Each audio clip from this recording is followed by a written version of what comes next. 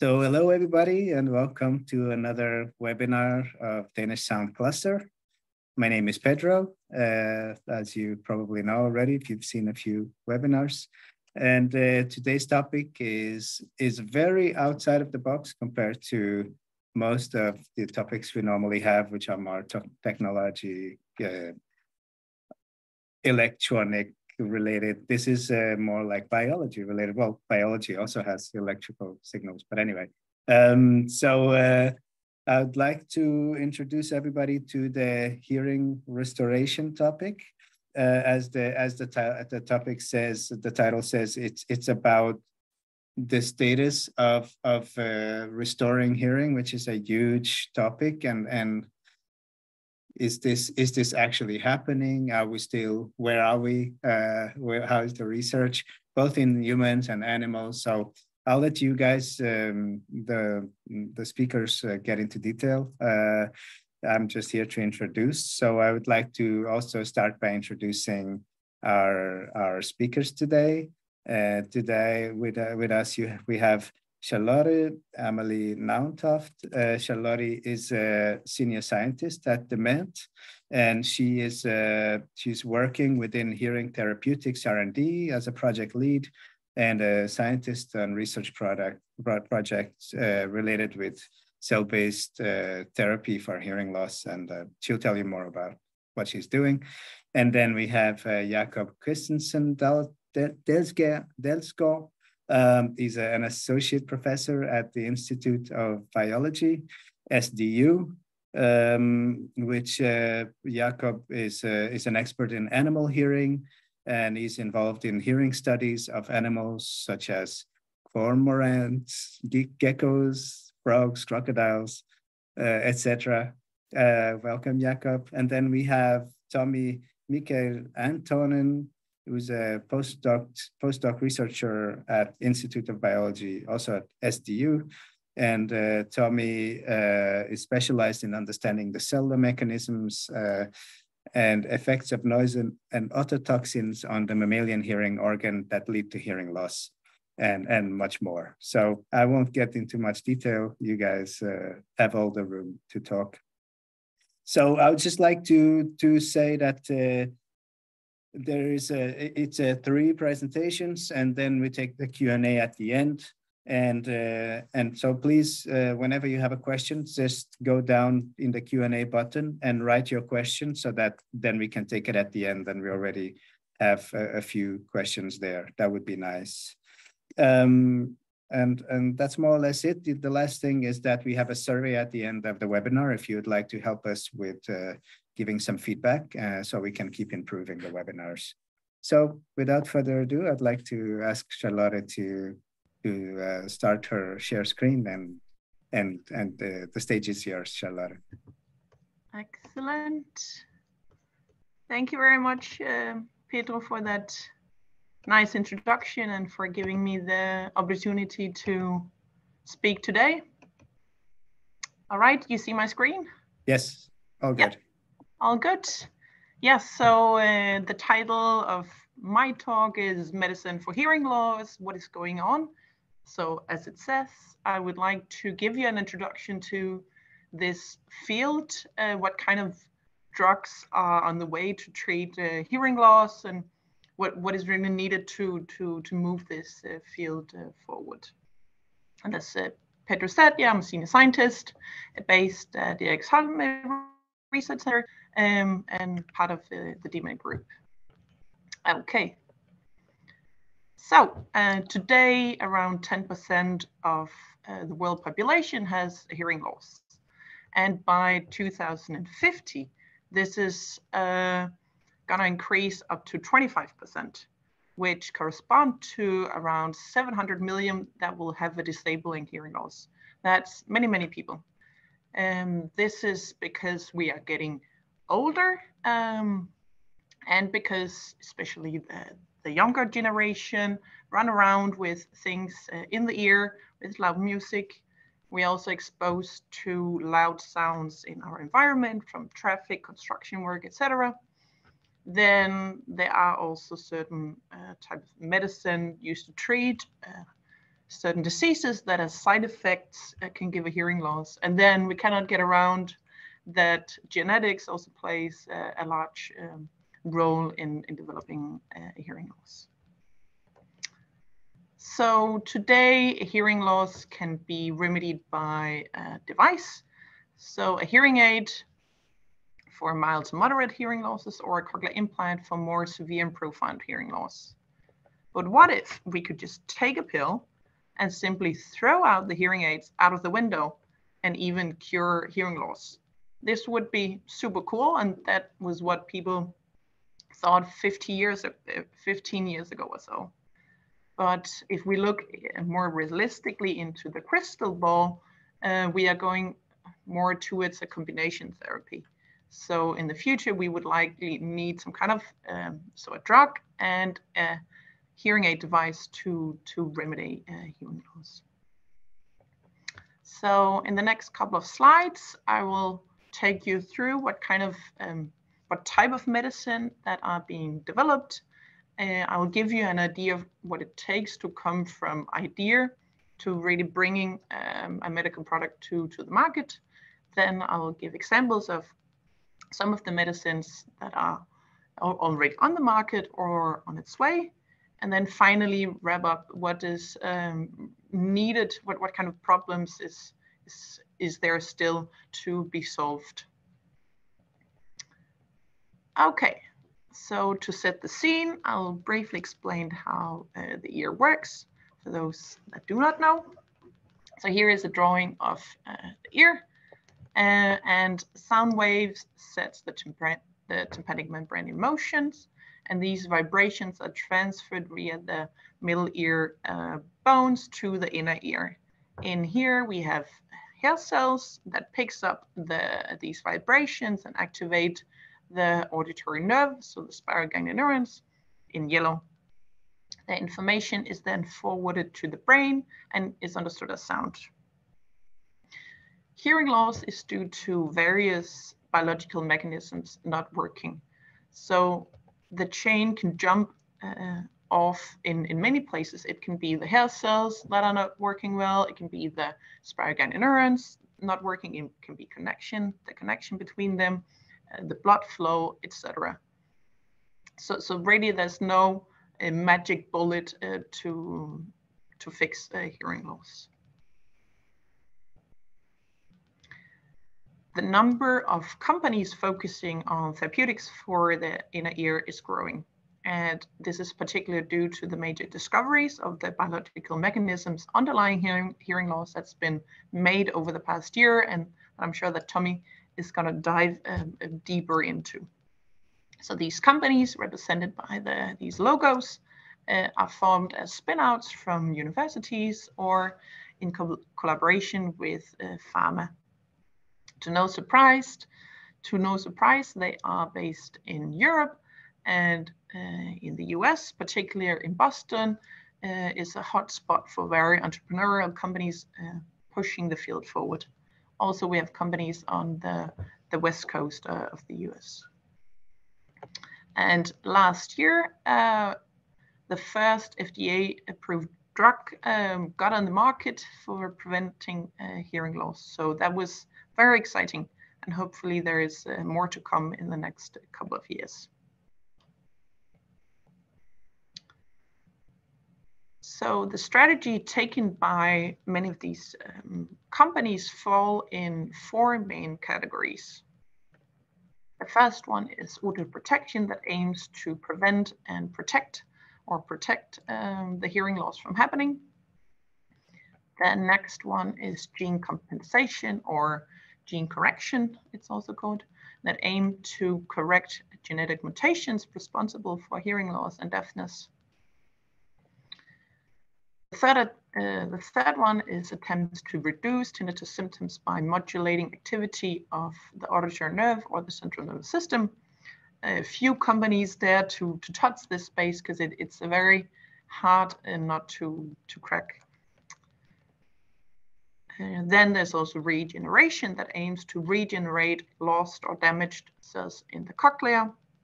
This is attempted by repairing damaged cells with, for instance, growth factors, by reprogramming um, so-called cochlear support cells in the cochlea into new hair cells, for instance, or finally by replacing lost hair cells, hair cells or neurons with stem cells. If we add the, the company logos, you can see that most company for now focus on otoprotection. And there's a couple of reasons for that. Uh, the first reason is likely that the drugs can be repurposed. That means you can take a drug that's been used for another disease, so say to treat epilepsy, and then you try it out for hearing because some of the underlying biological mechanisms uh, might be the same. Another one also being that the patient group here is um, easier to identify and control in clinical trials. The main point with uh, this slide is that the field is very diverse and fragmented. So hearing loss is a genetically and mechanistically diverse condition. There's no one size fit all.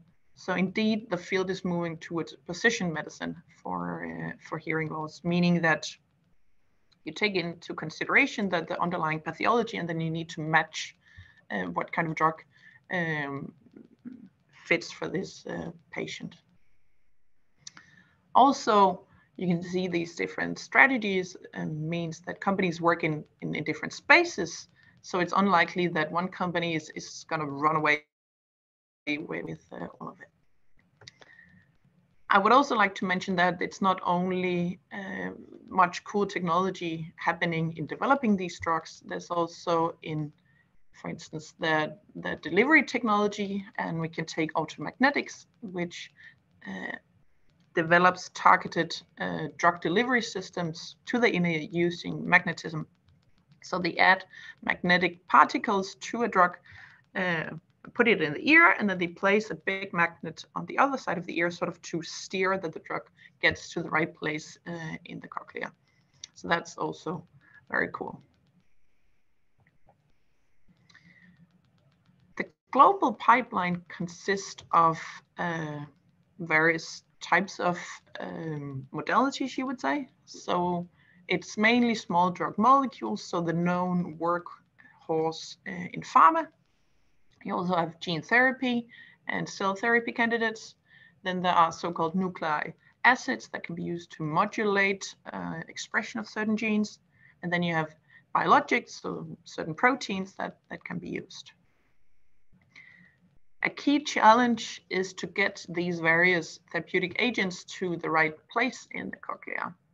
So for the small drug uh, molecule delivery, systemic routes uh, or delivery via the, the, middle ear has been used uh, in the clinic for for some time.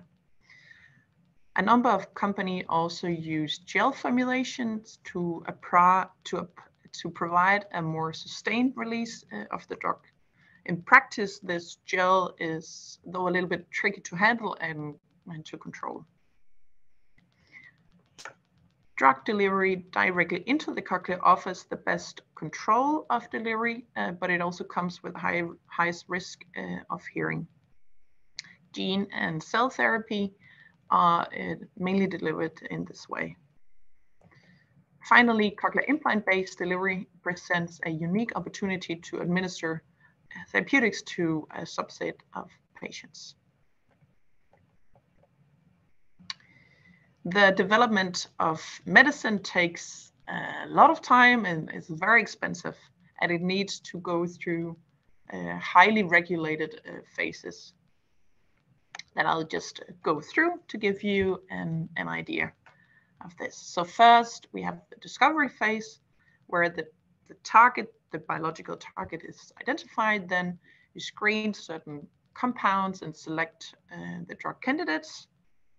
Then you move on to either some um, assays before animals or you go directly into animals where you demonstrate the, the, the proof of, or you do the, the proof of mechanism that the drug is supposed to do the, the, the right thing and that it shows efficacy and that it's safe you also look a bit into how the drug behaves and interacts in the body, and you make sure that the route of administration is, is good. You can highly, uh, you can produce the, the drug at high purity, etc.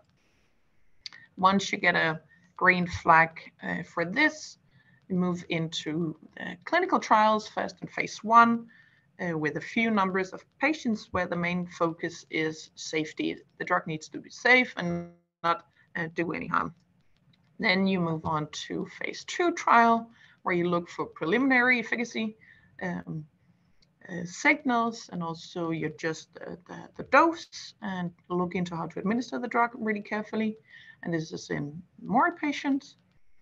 Uh, after that, you move into the, the larger and way more expensive phase three trial where you really confirm efficacy and safety and sometimes uh, match it or benchmark it against an, an already existing therapy in a, in a much larger patient group.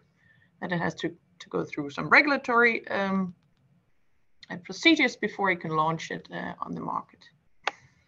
And if we put a, a timeline here, a gen very general timeline, and you can see that it takes up to 15 years from you get the idea to, to you launch it uh, onto the market. Also, I've just added uh, the companies uh, here. You can see that they are in, in various phases of uh, the development uh, and with the different kinds of uh, approaches here. Okay, let's dive into some examples of the drugs that are in development. I will start with otoprotection. So last year, there was some good news to the field because the first drug got approved by the FDA, by the regulatory uh, authorities in the US, and the drug is available for preventing hearing loss.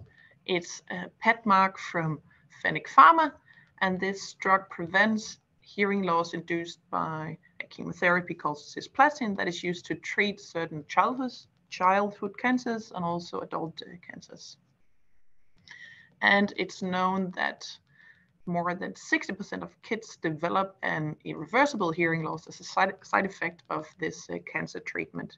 And they need a hearing aid or a cochlear implant. But Pedmark can reduce this risk by nearly 50%. So that is uh, really great. So for now, it's used, it's approved for uh, many pediatrics in um, child or in children up to 18 years, which is around 10,000 patients per year. Uh, but I'm sure that Fennec Pharma is working on approving it also for adults, which is uh, up to half a million patients uh, per year that uh, that they can help. So the key message with this was that the approval of, of, of this drug was really a, an energy booster for the field because it, it, demonstrated that it's possible to develop and really bring a, a drug to the market that can help people. Moving on to example number two on gene compensation. So, and gene compensation here, you use gene therapy. So what is uh, gene therapy? So a virus can give you COVID, but it can also be used to deliver a genetic material to a cell of interest. And there are a couple of uh, companies uh, working on that. Um, their main lead uh, gene therapy candidate uh, targets deafness caused by mutation in the gene coding for otoferlin. Um, and otoferlin blocks, and this mutation blocks communication between the hair cell and the auditory nerve. So people, so the um, the patient has a severe or really profound uh, hearing loss. And there's around 20,000 20, uh, patients uh, with this uh, condition. But delivery of normal copy of otoferlin via this gene vector can re-establish the communication between the hair cell and the auditory nerve and those potentially restore hearing. Here I'm showing uh, some data from uh, the company Akouos that have showed that this works in, in, in animals that had this mutation. They put in the gene vector and then they can restore hearing as if the mouse was had a normal hearing. And they have also shown that it's uh, safe in, in, in, larger animals and they can get high expression from this uh, gene uh, vector that they put in. So the next step is that um, one of these companies will start a clinical trial in pediatrics uh, this year. So that's uh, that's exciting. Moving on to regeneration, first I'll give an example of reprogramming um, uh, support cells into hair cells and then replacement of uh, ganglion neurons with stem cells. Oh. First on regeneration that uh, Tommy is going to dive a lot more into than I will do here. But here you see an animation of the inner ear here with some cells and with the missing hair cells. And in the cochlea, there are uh, cells called progenitor cells, or support cells that have the capacity to be reprogrammed into new hair cells, but they don't do it uh, on their own. So Frequency Therapeutics is one of the companies that had a drug that could stimulate this uh, process and to make uh, to make new hair cells. So when administered to patients with sudden onset and noise-induced hearing loss. This was a mild, uh, this was a moderate to moderate severe hearing loss. It seemed that a couple of patients um, denoted here by the orange dots could better perceive words in quiet uh, compared to the placebo group. But please uh, see here that um, that it was um, a little bit unbalanced uh, with, with, the numbers of, of patients.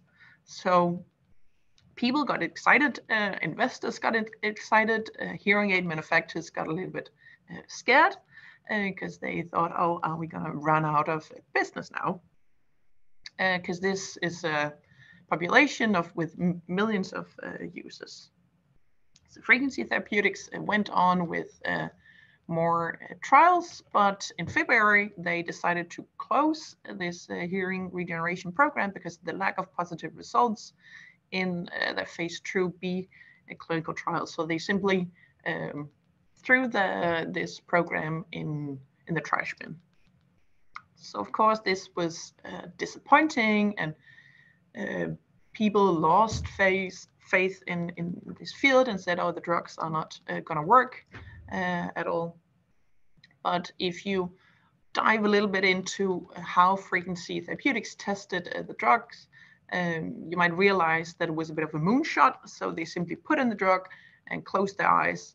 Uh, at least to me, I was. They did not show um, clear evidence that they had functional engagement of the target. So they did not demonstrate that they could actually regenerate um, functional hair cells in humans. So they did not show any DPOAEs or like other kinds of functional measures. Um, also, they had not clear uh, or more refined diagnostics beyond the standard um, tests that you could do. So there was no really or clear stratification of, of, of the patient group and uh, to know whether they even had a well-working uh, support cells, etc. But uh, keep the hopes uh, uh, up because there are um, clinical trial results expected from Audion Therapeutics um, that has a similar strategy. they will come up with the results soon. Moving on to the last example um, is from Rinri Therapeutics, uh, a UK-based biotech company that aims to replace lost auditory nerve cells or spiral ganglion neurons with stem cells. And this is relevant for particular patients with cochlear implants that would benefit from having more spiral, spiral ganglion neurons. Rinri have demonstrated that their technology works in a deaf uh, gerbil animal model. So they have first developed uh, immature spiral neurons from stem cells in dish, and then transplanted these cells directly into the deaf uh, gerbil uh, cochlea where the neurons are normally sitting.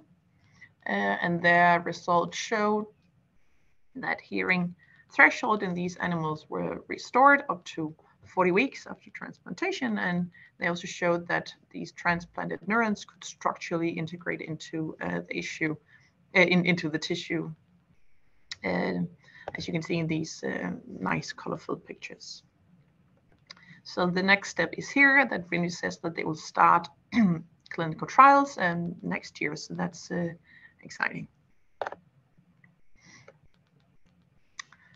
So the field is, is really moving forward, but there are some clear issues that needs to be solved. And you can also see it a bit, bit uh, as the the full that, that the glass is half full because there's also some cool opportunities for other partners to to to buy into to this field. So the first uh, thing is that there's no clear standards of how these clinical trials, there's no golden standards for how these clinical trials should be run. So there's really a need for some clear outcome measures that can first shows that the drug gets to the right place and do what it's supposed to do. And then further down the line that this can translate into a benefit for the patient. This point is tightly linked to a need for a better understanding and defin uh, and definition of, of the patient group that the drug is, attend is intended for. So there's a need for very specific di diagnostics. Also, uh, the drug, um, you need a, the, the drug to get to the right place and work in a high enough concentration over um, a certain uh, amount of time. So there's a need for for really uh, effective delivery approaches um, for for these drugs. Also, uh, there's a need to have uh, robust preclinical animal models um, that can really be translated into to humans that uh, I think Jakob will will touch upon. And then finally, um, because this is a high risk game. There are drugs that uh, don't work. That there are things that has to be closed and etc. So there's a need for constantly bringing in new ideas for trying out a new uh, drug candidates, uh, etc. So so we need to fuel uh, the pipeline. With that, I uh, would like to wrap up and uh, hope that you will take away at least the three key messages. So first one being that hearing is an extremely complex uh, biological mechanism. The, the chain can jump off in, in many ways. That means that we need to tailor a specific kind of medicine for different uh, underlying pathologies and, and different kinds of patients with a specific type of hearing loss. And also, if we look at it in the crystal ball, it's likely going to be a combination therapy. So uh, where hearing loss will be treated with a drug and a form of a device. With that, thank you very much for your attention, and I'm looking for uh, forward to some uh, discussions and interesting questions later on. Thank you. Thank you, Charlotte. Really exciting. Really exciting. So much to talk about. But before that, we will go to to Jakob which will give another kind of all around, uh, well, you, you'll talk about it, Jakob, but uh, not so human anymore, but still important because it's uh, we're all part of nature and we're all part of the same. I'm just gonna ask you to unmute.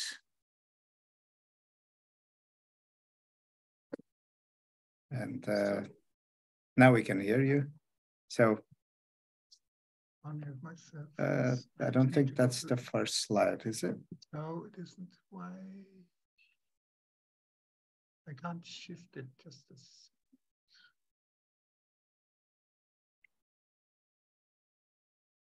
Oh, here we go. There we go. Can you see my slides now? Yes. It's perfect. At first, uh, I should apologize if there's any glitches. I just came back from the field uh, studying frogs out in the Donau Delta, and uh, I'm in Bucharest now in a, in a hotel line, but I hope this will work. yes. if it stalls.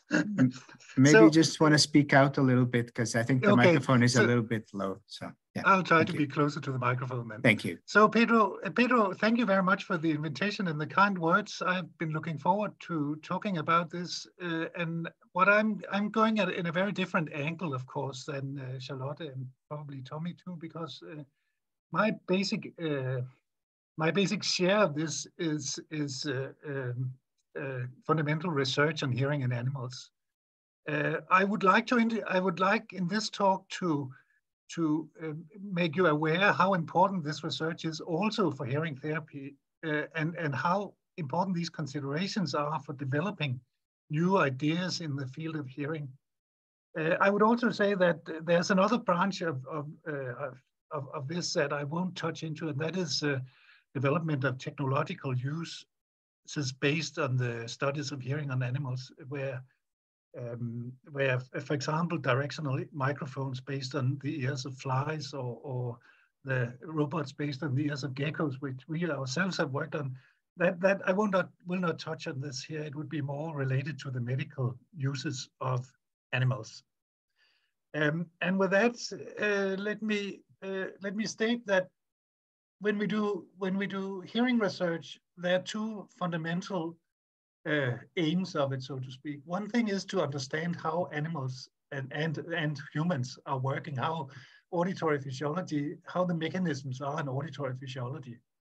And the other thing is applied medical research. And of course, the more we understand about how the system works, the more will we also be able to modify it and make all these kind of smart uh, therapeutics that Charlotte was talking about. Uh, and and and so so a part of it in, in is fundamental biological research where we invest, investigate the structure and function of animal ears, their genetics and development, and how they have been shaped by evolutionary history. And that makes possible a lot of studies of, of mechanisms that are highly interesting. For example, we can make invasive studies that are not uh, possible in, fortunately, in our part of the world and humans. We can make genetical studies. We can make direct, direct correlations between neurophysiology, how the nervous system works, and, be, and the behavior or the psychophysics of, of animals that are trained. But we also, as biologists, we also uh, should all, we always emphasize that evolutionary history is very important. So the, the, the time since animal lines diverged, uh, for example, rodents that most used for, for animal models, they diverged from, from our group of, of uh, mammals and primates about 80 million years ago. That's a long time. It was during the reign of the dinosaurs. Um, and, and another thing is that animal hearing is also shaped by by what particularly lifestyle they have, and that that that that, that can also modify what they're doing. So so that we think is important things to bear in mind also when you're using animals as animal models. Um, and and uh, these animal models are, are again two kinds. One is that you use model animals, uh, so-called uh, model animals, which are typically laboratory mice or rats or, or even or even gerbils. Um, these have not been selected because they're especially like humans. They, they they've been selected originally in the 100 years ago because they were easy to breed in numbers, right? Uh, and they are inbred. Uh, they are often inbred strains which have an advantage. That is that, that uh, they, they are much more um, experiments are much more reproducible because the animals are almost like siblings, right? Um, and the physiology and genetics is well known of these animals. So, so uh, I'll return to the model animals in a, in a moment. But another, and another approach has been to study animals, um, species that are extremely adapted to one thing through their evolutionary history. And uh, one example is the barn owl uh, at, at left, which is has been for a long time the model animal of directional hearing. And this is because uh, barn owls, uh, they need to capture uh, animals. They need to, they capture mice. They need to do it by their sounds, the faint rustling sound a mouse makes when it's, it's running around on the ground. The mouse has no intention of communicating with the barn owl. This is pure. So it would, of course, try to be as silent as possible the barn owl has to, to capture during the breeding season around 35 mice a night to feed its, its youngs. So this, this, uh, these forces of, of evolution shapes an extreme directional hearing. And, and you, if you look at the physiology, auditory physiology of the barn owl, you'll see adaptations at every single stage of its auditory pathway.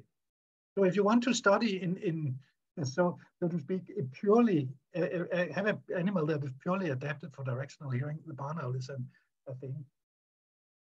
the other example is songbirds, and um, Kami also works with songbirds. Uh, so, so I don't know. I don't think you'll talk about those, but but songbirds uh, uh, have to learn their their their calls. They they learn them when they're young, and and has to perfect them during vocal learning. And of course, you could take this as a as a model of vocal learning also in humans. Uh, nobody assumes that it, it's, exactly the si same size system, but it can give you some models, some analogs for how vocal learning works, maybe that we can use also in, in, in humans. Um, an example of, uh, of, uh, uh, uh of, of, early studies of animals, uh, animal functions is the function of hair cells. and much of what we actually know about hair cells comes from studies in fish and in, in, uh, in to a cer certain extent also, also in frogs.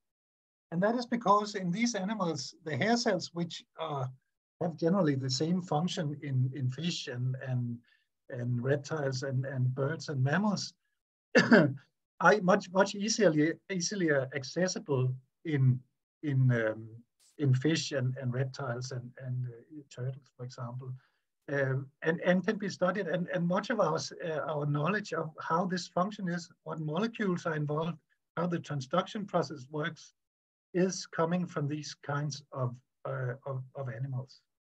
So you need not be afraid of doing things that, that is, that's again outside the box, outside the, the, lab, the model animal box. You need not be afraid of, of looking at such studies. They can give you very important insights in the basic function of things. And uh, uh, uh, of course, the current model we have of the uh, how the transduction mechanism actually works, uh, the gated spring model, which describes the transduction in hair cells as little little strings or springs pulling on a, on a cork in the stereocilia, uh, was developed in in frog frog, frog, frog inner ears by by Howard, Howard and Hudspeth. And if there ever is a Nobel Prize in uh, in in this field, I, I would uh, put my money on on Jim Hudspeth uh, that he would be one of the guys that get it. So so the transduction mechanism comes from from these kinds of, of uh, experiments. Um, and and of course, uh, genetical studies that can identify the genes uh, is what Charlotte talked about, and they all come from from uh, studies in, in mice, and that gives possibilities of the gene therapy, therapy thing that a lot of talked about, uh, although it probably are, are, a few years ahead before we actually have it. But um, the, the figure here, uh, the right figure shows you a, a defect, uh, a, a, a, mouse with, uh, uh, you so the, the left figure shows you a mouse with a defective cochlea. It has a gene defect that, that leads to defective um, defective hair cells. And uh, the, the cochlea at the right is repaired using gene technology, uh, using this CRISPR uh, method where you can actually cut off uh, parts of DNA and insert, uh, insert repaired DNA. Um, and you can see that it actually gives some repairment. Again, um, uh, one thing is having the hair cells there, and one thing one thing is this that Charlotte very correctly said is to make the right correct connections. And you can cannot see it from here, but you can at least get one, one step of the way by these kinds of technologies. And these are based on what we know about how the cochlea works. And cochlear function uh, was originally based on, on the studies of human temporal bones uh, and studies in, in, in uh, uh pigs too. And by doing so, von Békésy with the apparatus you see at the left uh, was able to directly stimulate the uh, parts of the cochlea and observe the vibration of it. And that showed that the, the, uh, the, the um, frequency were analyzed by the cochlea using a, a kind of a place principle where, where uh, low frequencies would excite the, the innermost part, the apex of the cochlea, high frequencies, the outermost part. Uh, so, so this was based on uh, originally on human experiments, but then uh, when you turn to live animals, uh, it turned out that it looked quite different. And if you have a live animal, uh, how do I point here, by the way? I should, uh, uh I get a pointer out and see, is that this one? Uh, can you see my mouse pointer right. now? Yeah. Okay. Uh, I, I would rather have a dot, but I can't see how I get that. Uh, anyway, this is good enough. Um, so, um, ah, come on, I need to go back. Yeah, we can uh, see your pencil. I want to go back. Sorry. I think there's an an animation in this slide. Maybe that's why it's a bit slow. No, I don't think there's an. I, I oh, here you go. Okay. And I do I have the pencil now? No, I don't have it. it's all good. Okay, so um, if you measure from a live animal and measure the, the, the vi actual vibrations of the basilar membrane, uh, if you do it in a live animal, you see uh, curves that are much different from from Békésy, what von found.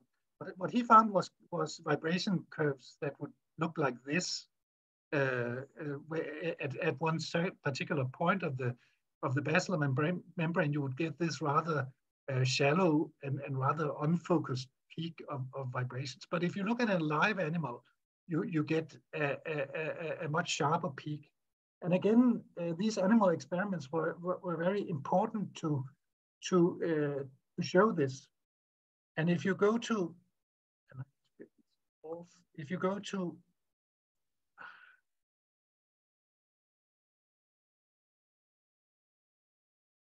I can't shift this slide. okay, here go. Um, these animal experiments were were extremely uh, difficult to do. So you had to you you have to have a live animal. You have to to um, to make a, an opening so you can actually shine, a, for example, a laser focus on the basilar membrane in an intact uh, live cochlea. And by doing so, you can show this very sharp response, which has led to uh, to our theory of the cochlear amplifier and the active amplification of the vibrations of the cochlea.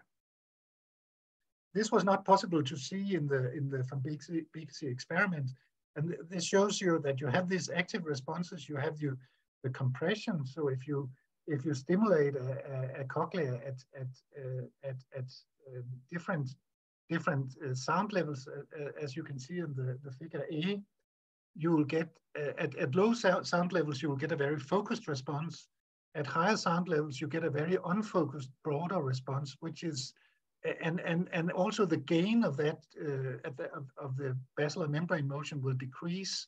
Uh, so you, so you, you, you get, you can measure in this way the figure, uh, the, what we call compression in the, in the cochlea, which of course has been crucially important for the modern designs of uh, of hearing aids, uh, this notion of the, uh, of the cochlear amplifier. And which is also, we know, now know is what, what goes wrong during during intense in, during most intense noise exposure by damage of the outer hair cells. And if you create a tuning curve from this figure A uh, uh, by, by assuming a certain vibration for, for the threshold, you can get tuning curves that very much like look like what you measure from the auditory uh, from the auditory nerve. Uh, Jakob, can I just ask yeah. you what is the signal that has been used for these measurements before? Uh, the signal, so you have different levels, but of what? Yeah, uh, well, it's it's just sound stimulation. So so you you stimulate. Uh, you have a frequency axis. Here. Oh, sorry. you have a frequency axis here, so you simulate stimulate at sound at different frequencies, but you record okay, just pure tones. From, from pure tones, but you record from a certain place which corresponds to the uh, to the frequency of 10 kilohertz. I mean, that's where it has its maximum sensitivity.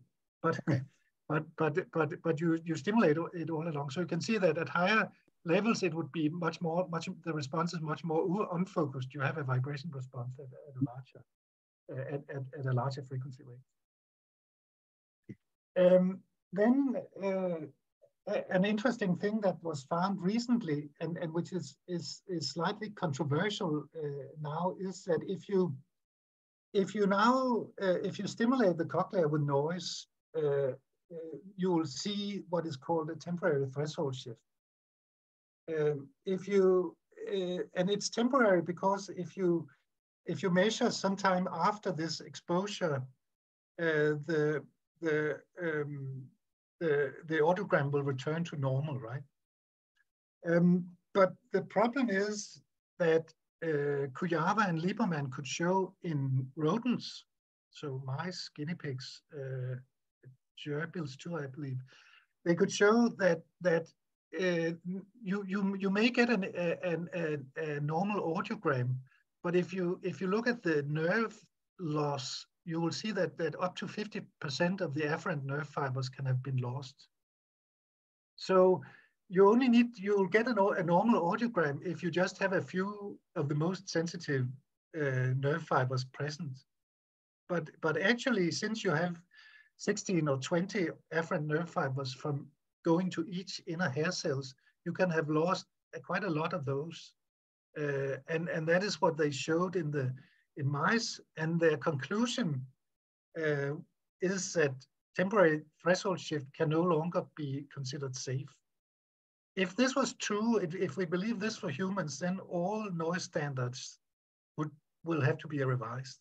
So there's a, there's there's still a controversy whether these uh, animal experiments actually can be extrapolated to humans. And many groups are working on, uh, with conflicting results, I should say, in showing, in, in uh, on, uh, trying to understand whether we see similarities in, in, uh, in, in humans. If we don't, this is one of the examples where the animal models do not work because the results are clear in the rodents uh, studied so far. Um, and that brings me to some of the problems interpreting results using model animal model animals. and one thing is uh, that in order to do most of these experiments, you have to work with anesthetized animals. Um, and uh, anesthesia has different effects. They can, uh, and, and, and there can be differences in susceptibility to anesthesia for, for animals that can, can uh, uh, somehow could, could um, influence the results. The other thing is that, as I said before, we, we're working with laboratory strains uh, and uh, these uh, strains are normally inbred. and inbreeding, uh, which makes them so, so wonderfully alike and, and, and reproducible and so on, of course, could produce no, some effects that you don't want. They can uh, they can produce uh, some different kinds of defects. For example, most of these animals are albinos, right? And uh, who knows whether there are any effects of inbreeding on the auditory physiology. Uh, the other thing is that when you select animals, uh, when you breed animals, uh, even though you don't think about it, you of course make a selection. You you typically would take the animals that are easiest to handle that is the stupidest ones. You will typically take the animals that are less disturbed by the lab environment, that is the deafest ones. And, and there will be other things that, that, that, uh, uh, that you will select, without knowing it, will select them for. Then, of course, there could be biological differences between, especially rodents and, and us primates. I mean, as I said, they, they, uh, they, um, we diverged about 80 million years ago. And then there's a problem of age-related hearing loss, which I will uh, return to in, in, in, in, a moment. But just to show you the effects of, of inbreeding, uh, here are laboratory strains of rats and mice uh, uh, uh compared of, of rats, three, three um, lab strains of rats. Um, uh, and each audiogram, there, there are two audiograms in each of these figures, and the lower one in all cases is measured on wild rats. So we were able to obtain the wild rats from the Pest Control Institute in Copenhagen. They are not the nice cuddly animals you work with in the laboratory. They are handled by thongs and kept in, in iron cages so because they will get their way out. Uh, and they all have better hearing than the lab, the three lab strains we studied. So these are the, the uh, if you're interested in the types, they, they are the Wistar rats, uh, the uh, the Fischer rats and the Sprague-Dawley rats are the, the three audiograms you see here. There are other strains, I should uh, uh, say, that have better hearing than, than these laboratory strains. For example, uh, the hooded rats, but it's something to take into account when you, when you do hearing experiments. Right? Um, so so the, there are uh, at least uh, generally up to 10, maybe more dB difference across frequencies. And I think it's because that the selection pr procedure you do when you do make these strains uh, is that you generally select them, those that are not disturbed in the lab, lab environment. So it's a typical response of uh, mice and rats to kill their, their offspring if they, if they are stressed by intense noises. And these animals are the ones that survived in a lab in, uh, environment. Can I just ask you something? Could it yeah. even be that these rats are actually less disturbed because they hear less? Yeah, of course. I mean, they, that, that's a that's a thought. I, I mean, they yeah. they're the ones that survive, right? yeah. Uh, and they they're the ones that would be selected in such an environment. Exactly. Um, then there's the age-related hearing loss, and and uh, it, of course, if, if you have an old mice, an old mouse or an old rat, then it, it would be about a year, a half a year or, or up to two years. They, they usually die before they're two years old. Um, and uh, so so this the the problem is that when you when you look at old mice and old rats can you then really can you really then extrapolate to old humans? You you wouldn't be able to do that if if you think that what what uh, uh, what degrades our hearing is mechanical mechanical uh, uh wear of the cochlea because because an, an old human must, must have had much more, much more uh, noise exposure if you sum it up over 70 years than an old mouse has. Uh, so even though you find some similarities between old mice and old, uh, old humans, I would think you should take it with a grain of caution whether, whether this is actually the same, the same kind of thing. So I will wrap up here and I'll uh, uh, conclude this somewhat rambling notes on, on animal auditory physiology with that, that first, first of all, what we know about auditory physiology is based on animal experiments in a wide group of animals ranging from, from fish to, uh, to mammals, of course. Um, and, and of course, when you, when you use these experiments uh, in translation, translational or medicine approaches, you should note that that you you should interpret everything with care, and and for, uh, in, at best ask a biologist. Uh, for example, uh, there would, would be this biological difference between animals and humans. And if you wanted to be safe, I think the safest approach would be that you don't um, that you don't always restrict yourself to the known animal models of mice and rats and gerbils, but but try to go outside that box and, and, and look at, at, at uh, different, different kinds of, of animals. Uh, and remember that the, the model animals, are, are, they weren't selected for anything that has had to do with humans. They, they were selected because they were easy to breed. And by that I'll end. Thanks for your attendance. Fantastic. Thanks, Jakob. All right. Well, uh, let's just uh, keep pushing. And uh, Tommy, you can uh, go ahead. I'm just gonna highlight you here. And, uh, and then we'll take the Q&A at the end. And uh, off you go. Thank hey, you. Thanks for the opportunity to present here. And it's nice to follow up from the good presentations uh, before me. So they went through all the hard stuff so I can go into hair cell regeneration then. So what I want to today talk to you uh, uh, about is how much we have learned from these uh, different animal models, what kind of failures we have had lately. Uh, well, of course, nothing is a complete failure. We always learn something important, but uh, but results have not been what we have been expecting. And what are the future challenges that that uh, hair cell regeneration field has currently? So, um, basically hair cell regeneration and finding of it is, is a success story of comparative studies into hearing. And it is just because uh, researchers were brave enough to look into animal models that are normally not used that much. And, and, and as you can see in these figures here now, if we look at publications on, on auditory research on, on different animals and the grant funding from NIH, well, we can see that around 2005, mice studies are booming. So that's where what everybody is doing now. And then Jakob touched a bit what is the problem there. So, so what I just want to highlight here that we we should maybe consider going back a bit more into comparative studies in, in, in other animals too, because we can learn a lot.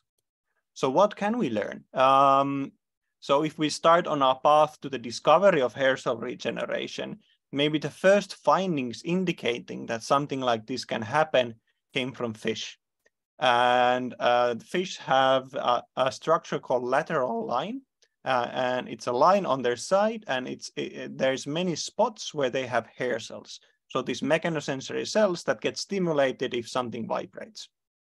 Uh, and uh, fish use this to sense the movement of water next to them and, and orienting themselves in the water and and it was in in already in 1933 and around 47 when people started to see that hey if we amputate a small part of the tail bud of this uh, fish uh, and the tail bud grows back so does these uh, neuromasts where we have these hair cells.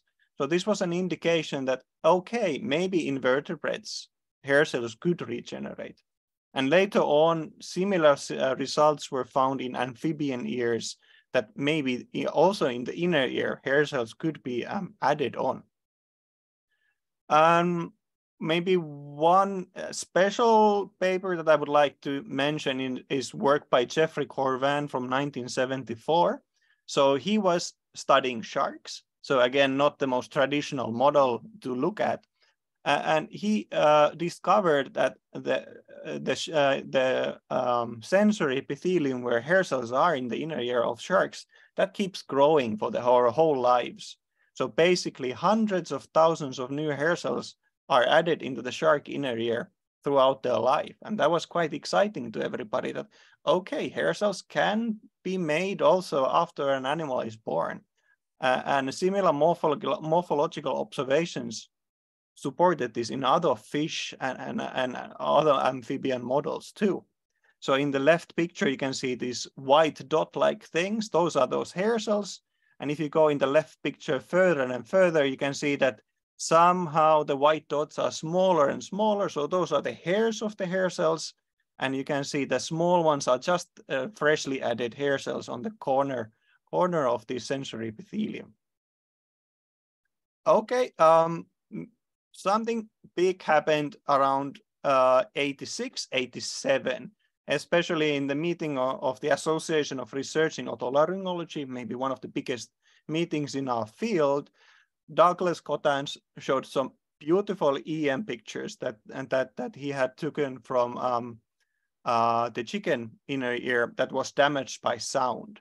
And this was amazing to many people because this was the first direct evidence that, wow, actually after sound damage to the ear, hair cells can regrow, uh, back in some animals. So on the left picture, you can see a normal chicken basilar papilla. That's the one that they use for hearing. And those dots there are single hair cells. So then um, uh, gave them a lot of noise trauma. And uh, this picture in the middle is a traumatized uh, um, uh, epithelium of hearing. And you can see that there starts to be areas where the hair cells look very funny and they are missing. So they're basically dead. But amazingly, 10 days after trauma, in those areas that were previously devoid of hair cells, you can start to see something uh, small hair cells popping out. And indeed, here's a magnification of those areas. Those are new hair cells growing. Uh, and of course, the question is, where do these come from? Uh, and Cotanche already mentioned in that paper that maybe it is the neighboring cells, so the supporting cells. And um, this made a huge boom in our field, and we finally recognized that hair cell regeneration might be possible if we understand how it takes place. And the next uh, important paper that I want to highlight is for, by Corwin and Cotanche, and then a different lab, Ryals and Rubel, that both almost at the same time showed that it, indeed it's so those supporting cells and next to the hair cells that produce this. How did they do that? So back then they just uh, injected those animals with uh, radioactive compounds And those compounds go into the cells that are dividing. And on the top picture, that's basically a picture where we can see uh, micro autoradiographic uh, labeling. So each dot uh, indicates that that area was radioactive. And we can see that the supporting cells, uh, those lower dots there have those dots, but also those new hair cells on top of the epithelium have those dots. So basically that was a, already an indication that supporting cells produce new hair cells. Now, so now people knew the right cell type. And uh, so basically what happens, there's two ways that this can take place. So the hair cells here in purple die away and the supporting cells around them sense this somehow.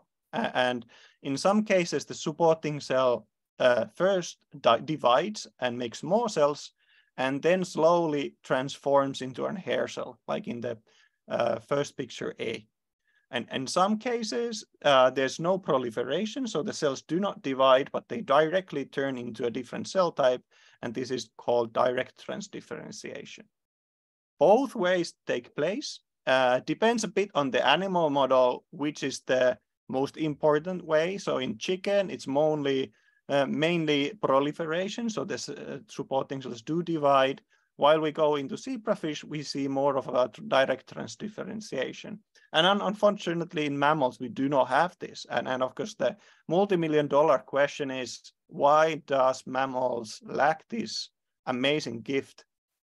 And so if we just look at the pathway of, of what has historically happened, of course, in 1978, we, we all know cochlear implants back then, still the most viable way of giving hearing back to some patients.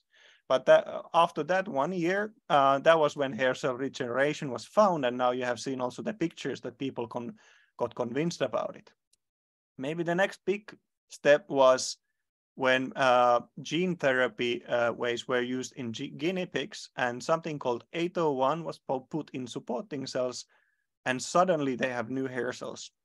And of course, this everybody was super excited about this. Uh, we went uh, forward with this compound called Atoh1, and it was now put in clinical trials that we can talk about later more. But where did this Atoh1 uh, information come from? That came from decades of work into the developmental biology of the inner ear. So here is one, just one picture of different molecular players inside the cell that direct hair cells becoming hair cells. And you might see on the, like next to the DNA piece there on the bottom of the picture there, it says Atoh1. So everything kind of comes to Atoh1. So that's really the master regulator of hair cell fate. So like I said, this is decades of uh, developmental biology work into understanding how a small piece of ectoderm in the embryo uh, makes this complex inner ear that we have inside our in, in head and how the hair cells are formed. So decades of work, very complex understanding, and many molecular uh, players. Anyway, if we take that cloud of developmental biology information that we have, and let's take a small piece of it. So what the Atoh1 that I mentioned does during development is that one cell decides that I will be a hair cell and it starts to express Atoh1 uh, inside it. And this will uh, tell the cells around it, you guys can't be a hair cell because I'm a hair cell. So what happens is, uh, like in this picture here, you can see this blue dot is a cell that decided to be a hair cell then it tells the cells around it, you guys, you are supporting cells. And then this continues and as a wave in the inner ear, so you can get this grainy pattern of hair cells and supporting cells next to each other. And um, basically, uh, this is what people try to do. So they will force the cell to express Atoh1 and they try to force it to think that it has to be a hair cell. Another approach that uh, companies are, are trying now is stopping the cells from telling the other cells next to them that you can't be hair cells. So basically then everybody can be an hair cell if they want to be. But that's it basically what that is. And uh, as I said, uh, researchers were able to get new hair cells in, in research animals in this way. But something that was not taken into account very much is that this is very limited to young animals. So this works really well in animals that are few weeks old. But when researchers try this in adult animals, Atoh1 alone is not that potent anymore. And that might be also one reason why this Atoh1 clinical trial was not as success, uh, successive, uh, successful as we wanted. Uh, and it just means that we need to do something else. And people are uh, moving forward, we are trying other things. So you, you saw the cloud of molecules that we can try. What different companies and researchers are now trying, hey, maybe it's Atoh1 plus something else. So we are trying different cocktails uh, of, molecules to put into the inner ear, into the supporting cells and hoping that they turn into hair cells. And in some cases they do. Uh, uh, so this is just the cloud. Uh, for example, if we look at this paper, they just decided to take Atoh1 and GFI1 and try maybe those guys would uh, be enough. And indeed, they do get hair cells uh, in, uh, in, experimental animals generated. So, uh, but unfortunately, in many cases, the hair cells that we can nowadays generate, they do look like hair cells. They electrophysiologically behave a bit like hair cells, but they are really not fully hair cells. So, so they are a bit like immature hair cells at the moment. So on the picture on the left, you can see in purple hair cells and the hair bundles from top. That's how they should be. And in, for example, in this Atoh1 GFI paper, you can see on the right picture, these white plebs, these weird hairy-like things. So yeah, they do have hairs, hair cells, and they're kind of in the right place, but not all, not everything is correct. So we are really going towards the right direction, but we do need more information on how to guide these cells to be real hair cells. And a small problem or a big problem is that these uh, regenerated hair cells, in some cases, they don't survive very long in the inner ear. So they tend to die quite quickly. So we need also methods to support that these cells would stay in the inner ear. Just a different example of those weird hairy, hairy cells that you can see on the bottom of the pictures that, yeah, we are really not there yet, as you can see already from the morphology. Um, let's skip that. So what do we need? Uh, uh, I, I really think that we need more information from these non-mammalian models where hair cell regeneration happens. So what, what, for example, researchers are currently doing is that they are taking, taking individual cells from the chicken uh, inner ear. They are trying to trace by cell by cell how they change from a hair cell to a supporting cell and look at uh, uh on single cell RNA-seq level what genes and what molecules are in those cells expressed exactly on those points. So it is, in the end, it will be a massive map on how a hair cell, sorry, a supporting cell turns into a hair cell. And we do need more information in this way. So in a way, I would say we jumped into mouse uh, and uh, human clinical trials quite quickly, but I would still say that maybe now after some decades, maybe we should so go even more back into the, where we started in in in the in the 80s. Uh, lastly, I want to say, uh, and this is also where my interest is at the moment, we also need to understand better how good this regenerated hearing is. So on the left picture, that, that's a picture from a songbird inner ear after one month, and those are regenerated hair cells. And for hair cell function, they should be oriented perfectly. So all of them should be oriented in a similar fashion. And as you can see in this picture, some of the regenerated cells, yeah, they are they look like hair cells here. That's great, but they're a bit misaligned, right? Uh, so already this means that when these cells are stimulated, some of them are stimulated not exactly in the right way. And this, for example, could explain in, in some songbirds why their hearing is not regenerated naturally completely. So we get almost close to normal hearing thresholds, which is great, uh, but not there, uh, not completely to normal hearing thresholds. And as, as you all know, normal hearing is much more than normal hearing thresholds, right? So we also need to understand how well does regenerated hearing support vocal learning, for example. And that's what we are uh, together, for example, with Jakob and, and, and Professor Coen Elemans, what we are working now is in, uh, we looked at this in zebra finches. So uh, we are looking at how good a regenerated hearing is in, in template learnings uh, in these animals. So, so the juvenile males listen to their father singing and learn, learn how to sing from this model. And, and this gives an interesting opportunity for us to understand Okay, but how about if they have a regenerated hearing? Can they do that song learning as well? And, and also the song performance, is it also as good with regenerated hearing? Why do we need this answer? If it's not that good, so maybe we just should go and continue developing cochlear implants, right? Well, maybe, maybe not, maybe the regenerated hearing one day will be much better, but this, this, this is just some of the directions where we should go. So thanks for your time. Amazing. Thank you, Tommy. That was really interesting. All of yours, all of you. Um, so thank you very much. Um, there's already some questions. And I love how you guys explored so many different things, but it all comes together in the end. So that was really great. Um, let's check the questions we have here. So the first question is from Preben Quist, and it's, uh, are there any otoprotection medicines targeting noise and or age-related hearing loss? I guess that one is for Charlotte, maybe to begin with.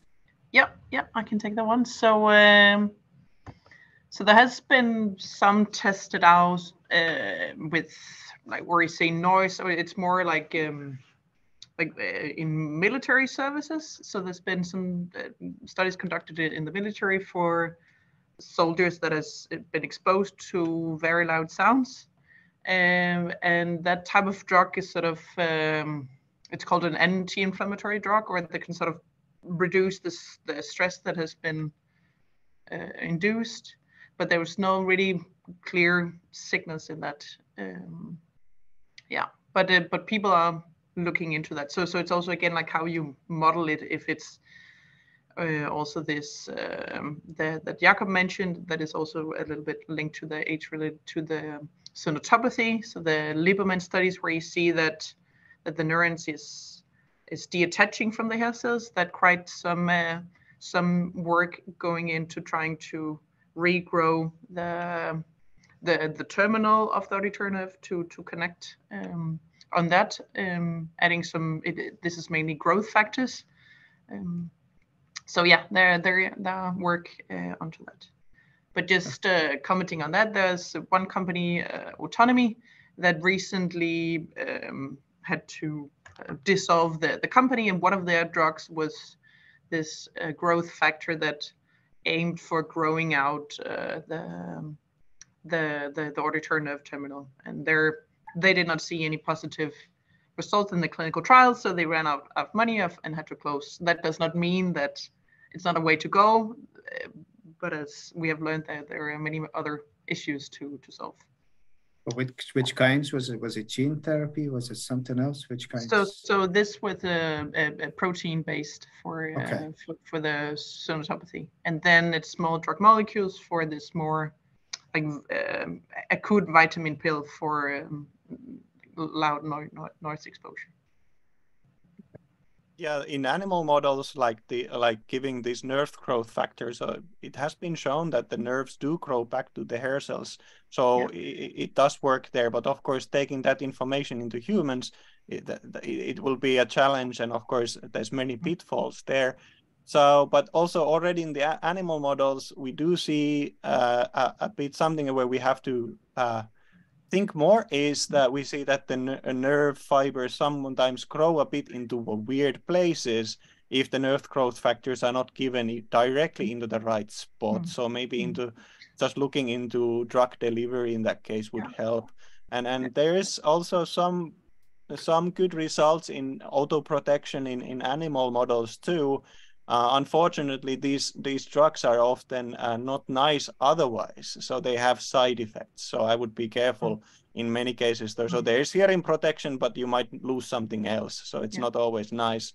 And um, lastly, uh, on hearing, uh, like protection from noise, uh, the best one is just to protect your ears, really. Yeah so um, otherwise you're take and it's it's hard. So basically we would need that protection just when the noise is happening mostly mm. uh, or just directly after it. So we need a pill that has to be popped in just in a couple of hours after you feel that ah something is a bit wrong. But protecting uh, after many days that will be a challenge. Well, that that pill is called earplug i guess. But uh, yeah yeah. it's still the best one. Yeah. yeah. Yeah.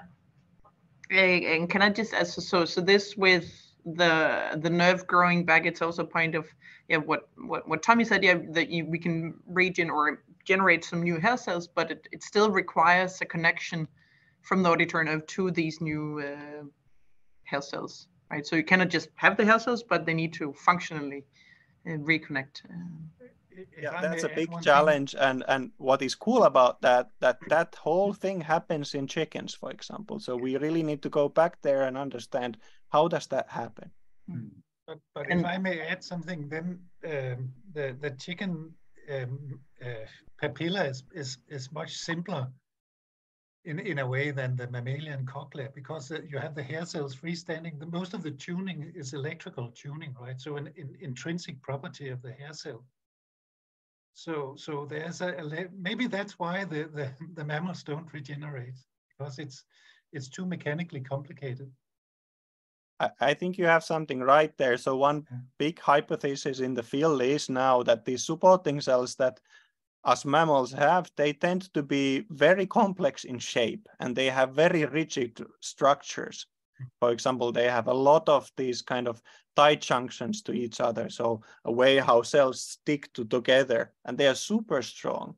So one idea is that they are they might be just too rigid to turn into hair cells.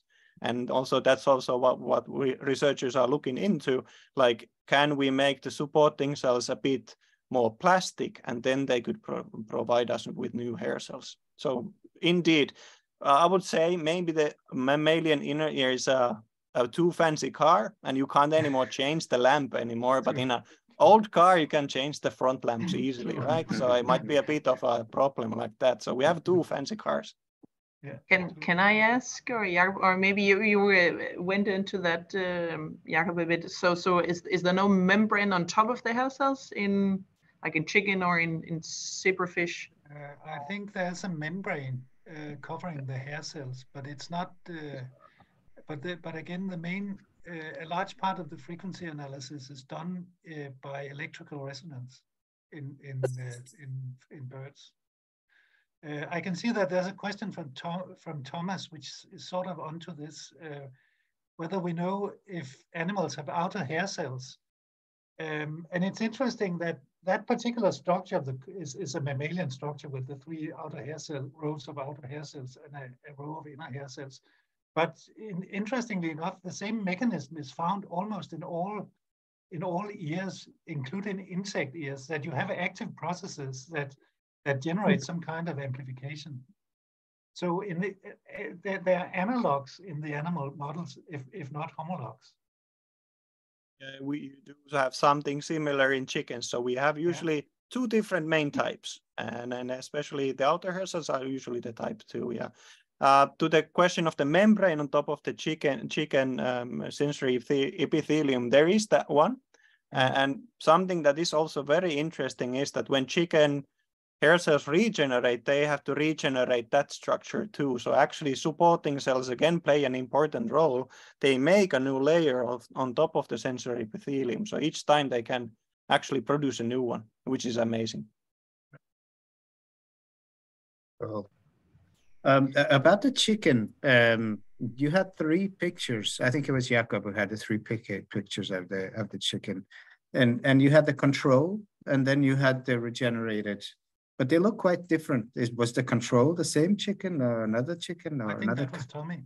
Yeah, that was my so the oh, yeah, so sorry. the control looks a bit different. So those are uh, specific time points after after the no, uh, noise trauma and and before that. So those are different animals. Yes. So the differences in the pictures are just maybe um, um, um, a bit on the direction how it has been uh, imaged. But the main thing that to see in those pictures was that these uh, hair cell-like appendages or those white things were present yeah. in the first one and in the other ones it was clearly missing and then they suddenly reappear again but mm. in in a very small format. Yeah. No definitely there was a lot more symmetry between the two control and regenerated but that the overall structure looked look quite different. So that's why i was yeah. curious. Oh we have another question now. Let's check it out. Thomas again perhaps the different active mechanisms were developed at another time in evolution this goes to Jakob, I would say, right? Uh, yeah, the, the, that's true. I mean, uh, insects, uh, the insect ears are, are, diverged at a different time than ours. So, so that's that's uh, that's what we call biologists call, call convergent evolution. So different solutions to the same of the same problem, so to speak, which is to generate a, a more to gener generate some kind of amplification of the of the auditory response. But that kind of amplification you can find in, in, in almost all animal groups that have ears. Mm -hmm.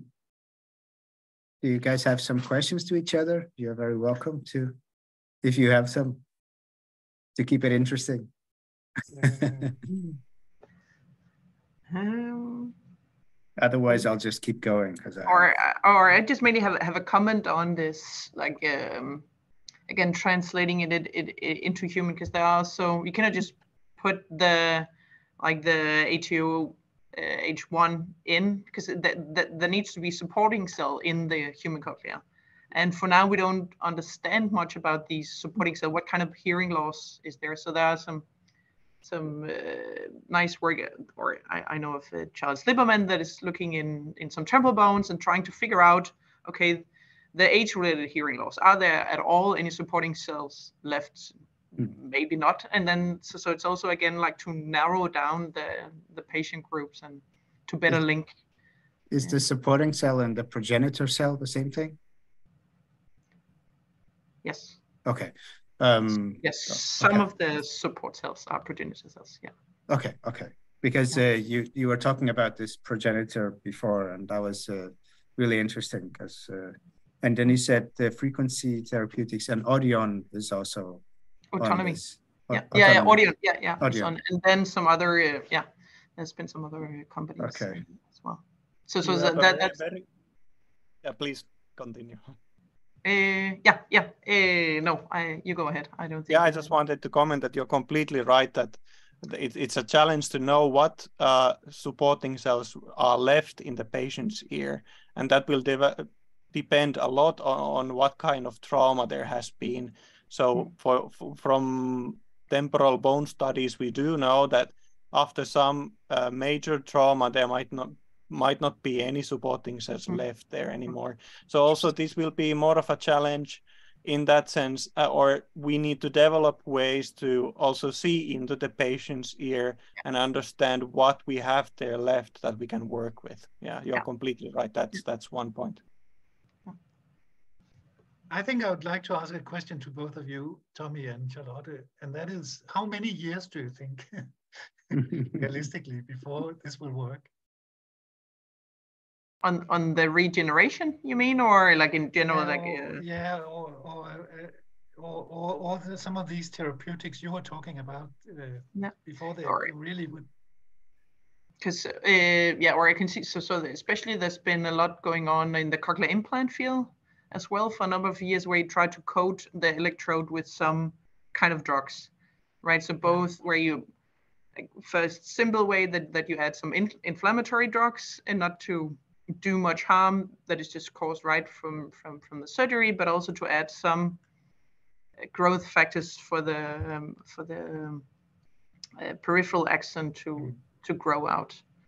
Uh, but I think those that so so so the regenerative approaches are like a bit further ahead. I, I think there where you have the otoprotective drugs, because there again you have a clearly defined target. Yeah, and we need to prevent this antibiotics. This we need to mm. block this ion channel in this these types of hair, hair cells in this type of patients that in two hours will give the treatment. So so it, it's a lot more defined from like from the pharmacological or biological perspective, but also from the clinical point of view that you already know, okay, it's these mm. patients.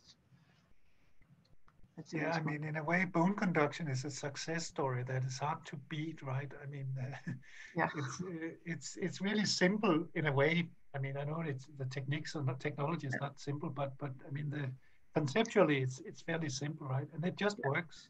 But, but but also for gene therapy, so so there are a number of gene therapies approved already for like blindness, where you can add a genetic vector that that encodes a healthy protein uh, or a, a normal uh, a normal copy of, of the proteins, a couple that are worked, and so people can go from completely blind to see mm-hmm. contrast and, and, and etc. So I think that the, the, technology around the gene therapy is uh, is, is really moving uh, fast. So I am quite optimistic about these monogenetic uh, disorders that that something is going to happen at least. Yeah. Uh, but, but yeah. Great. Uh, so there is one question here we can, oh, it was just a thank you, uh, uh, not, a, not a question. Um, well, uh, uh, Jakob, I didn't really hear your last comment. You said what was what was simple and efficient? Uh, Um, cochlear implants. Ah, okay. All right. I, I thought I, I heard bone conduction, but yeah, no, no, it, no. Okay. I, it might I might have said bone conduction. I meant it's okay. okay. Yeah, and I was also thinking about that, and and it's good that you said, Charlotte, that there was uh, already some uh, coating, as you said, right? Uh, and I was also thinking about the kind of periodicity you have in inside the cochlea, right? And maybe that's also important to have some kind of periodicity in the drug administration. I don't know, because otherwise you get into this uh, random hair growth that uh, Tommy was showing, and then it's yeah. a chaos yeah. inside. So, so they they they will grow out, but it's a matter of yeah. Uh, but but it's also again, are, are, they still functioning like they grow out? We can see that they're there, but do they work as intended? Like yeah. we we really don't know. Yeah. Yeah. And also to get it uh, like quite stable, uh, uh, like in patients as well. We don't know, like in half year, are they just going to degenerate? As Tommy said, that these regenerated hair cells are not as robust as. Mm. Maybe something that will be interesting, and I think in in the near future is. Uh, again with cochlear implants, but let's let's leave the electrical stimulation behind, and um, we are moving towards optogenetics also there. So Mm. Uh, with with LED lights inside the inner ear, we can stimulate mm. with light much easier. And again, then it means gene therapy, but we can make the spiral ganglion neurons light sensitive. So instead of let's say about from the 10 channels that what you can have or even more in cochlear implants, we could move towards much more channels. And I think that's also something where we potentially will see something cool in in a couple of years. Like a fiber optic kind of thing, or what? Indeed. So this yeah. is developed a lot, for example, in Germany. So so I expect to see something very cool linked to optogenetics. But do you think you have enough stimulation with light as you have with electricity? Uh, uh, that's an engineering challenge. So the biology side works really well, but uh, there's very good results from many many rodent models, and I pre- I would think that primate models are also already tested. So it's moving forward very fast. Nice. So better resolution, better output. Yeah, multiple channels. So uh, as yeah, many yeah. you know, we, we exactly. are working with very limited amount of channels. Yeah, in yeah, exactly. So, so this gene therapy is it? Did it come before we discovered CRISPR or after, or how does this work? Because I was thinking CRISPR immediately when when Charlotte mentioned it, but I wasn't sure. So. Oh, so so gene therapy has been used in in the lab for many many years to bring in genes to cells. So so it's it's quite a standardized procedure to look at to to add certain proteins or like change the the expression of, of genes. Um, but now like this more coupling to to therapies something that's happened like the past decade, like many right. years, couple couple of decades. I but but it's a matter of getting uh, also like a certain high enough level of, of, of this gene therapy to to the right place in mm-hmm. order for it to work. So is so take the like the the optogenetics here. You need enough of these light sensitive uh, proteins to be uh, to get to get in and also to be stable mm. over time and and and, and etc. Um, I think that CRISPR has just made it much yeah. more precise. I mean, yeah. Could, still in the old days, you could still transfer genes or uh, uh, uh, fragments of DNA, but now you can transfer an exact, uh, completely exact piece of DNA. Okay, but do you go? You still go locally with the syringe and apply it there locally, or is it like uh, everywhere? How does it work? I don't know, guys. I'm not a biologist. So yeah, so so for this uh, or also so, so, some other, yeah, you inject, um, you you put put put the syringe like really to the to the inner ear and put it into these fluid-filled chambers. You cannot just put it in in in, in the butt. No, no, no, no. no. Mm. But it's also used for epilepsy and like yeah. so, many other diseases. These uh, yeah. But Charlotte, you showed a, a virus uh, that it was inside a virus carrier, right? Or yeah, yeah, but it, it yeah, but you can also uh, the gene therapy can also be packed. You can also have them um, packed in in certain types of uh, nanoparticles, uh, etc. De de depending on which uh, technology you're uh, going for. The great thing about the viral gene therapy is that then by selecting the right vi virus type and so on, you can really modify into which cells it goes. So, of mm-hmm. course, whenever we are doing gene therapy, we have to be pretty careful that the gene doesn't go into the wrong place. So, yeah. with the viruses, we can get some kind of cell type specificity. And so that, that's that's very cool. Mm-hmm. And with maybe with the other delivery systems, it might be more challenging. So, for example, that's why viruses are currently used a lot to do this but but viruses are neither perfect because they might generate an, an, an, immune response, meaning that in, in five years you will have antibodies and then you had one shot for for this or okay.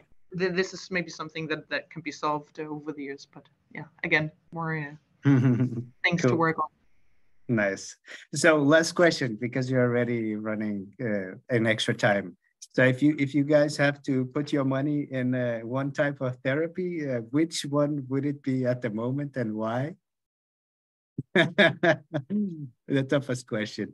Uh, you don't have to say anything if it's uh, if it's critical, but if you're uh, okay to respond, then can say it. Ah, that's a tough one because it, it, it's more like like if you wish thinking or the more pessimistic uh, i mean as the scientist that you are which one right now you you you think would would be likely to have some positive uh, result uh, in in the near future or in the very far future whatever however yeah. you think hmm. there are so I, many yeah there, there are so many I, th- I think it's it's difficult also from to where I would put my maybe I would start putting my money on some of these uh, oxidative stress molecules that that are like very briefly doing some dam- damage control that you have seen like some drugs that you've taken from other conditions that that you know that the the mechanism that's sort of the maybe the the lowest hanging fruit. But but but I really think that the gene therapy at some point is is going to be a, a very good way to deliver certain things uh, very targeted rather than like proteins that that's very tricky and then everyone says uh, stem cells because uh, that's uh, also just super cool that, that why not correct uh, that but but there, there's uh, it's a bit further ahead I think I would something that Charlotte mentioned was the. Oh, sorry, Jakob, you can go first. I think I would agree with you on protection. I think that's a that was probably the most uh, low-hanging fruit. Of course, there would be a lot of money in in aging, uh, but but uh, I I think it's it's further ahead than doing the protection stuff. Yeah, there's so many things going wrong in yeah. in in aging, yeah. like where to start yeah. fixing the car. exactly so. I do agree that something a bit protection, like Charlotte already mentioned, and for example, the cochlear implant during the implantation, just protecting the resi residual hearing. That's so important. So, and then we think about viral delivery for gene therapy for the inner ear. We should also protect that one because we are also accessing the, uh, the areas in that way. So basically Mm-hmm. we kind of need protection in whatever we will do. So so in a way, I think that's the first one, and then the cool uh, other things will follow up maybe. I I guess in an ideal world, if we can regenerate how much we want, then we don't need to protect it, right? I mean, but, uh, It, it would be a lot cheaper and easier to to protect rather than wait and. I, I mean, I mean, but if, if you don't have a choice and you're already damaged, but then you just keep, I don't know. I was just, uh, Yeah. but yes, of course, it's better to to to not go there to begin with. Uh, I Yeah, and There's agree. as we actually a s- question. There's a Yeah. question from Darkan, I can see. oh yeah, Some years ago, I read that the US military did found a method to protect, protect their soldiers' hearing before combat.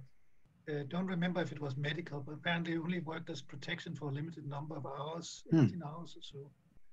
was that only a good story for the newspapers or is it great? That's for you, Charlotte. Yeah. I I haven't heard about that specifically other than No. ear earplugs uh, or some, something that can just really yeah I, like I uh, would also- I anesthetize the think- ear. Yeah. I think I would use effective hear, hear, hearing uh, Yeah. protectors. But maybe in some time, like we will every morning take our vitamin pill for, for the ear. Like who uh, who knows?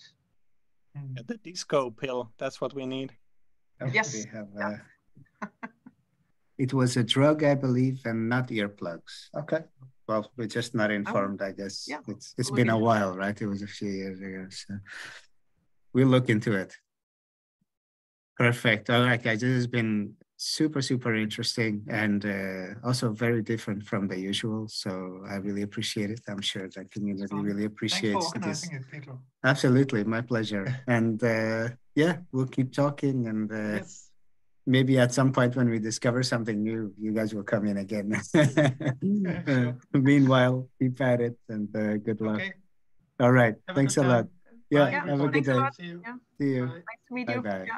Bye. Likewise.